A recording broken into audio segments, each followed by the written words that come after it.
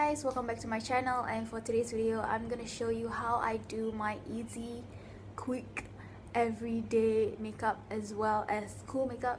Um this makeup is only for people who wants like a little bit of coverage but you want to look natural.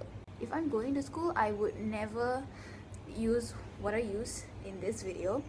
Um, i usually fill in my eyebrows apply mascara um, if I want to sometimes I do sometimes I don't.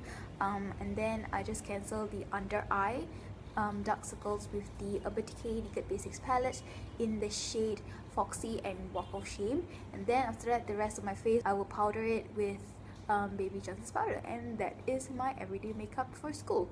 But if you are type of person who wants a little bit of coverage this makeup look is for you. If you guys want to know how I do this easy quick makeup look for everyday as well as for school then please keep watching